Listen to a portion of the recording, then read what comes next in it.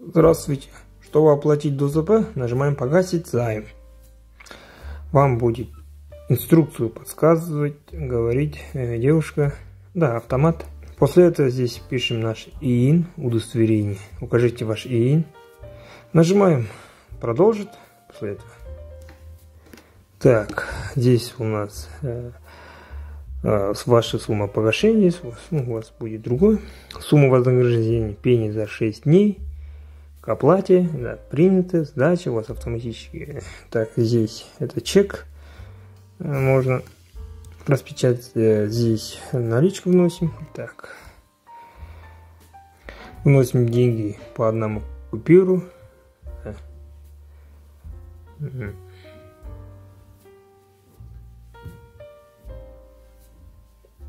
Так, все, автоматически.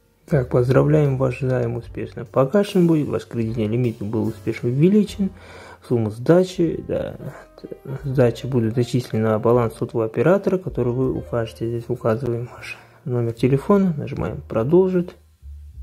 Кстати, можно, можно распечатать чек. Вот, пришла э, сдача